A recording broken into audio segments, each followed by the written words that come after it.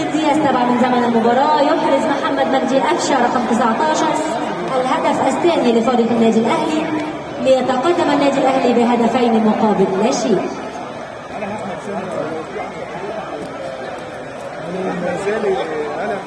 لسه لسه لسه